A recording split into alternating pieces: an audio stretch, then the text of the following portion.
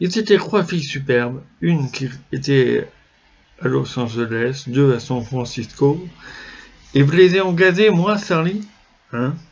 hmm, Voilà. Ils sont vraiment des rôles de dames. Hein. Ah des rôles de dames.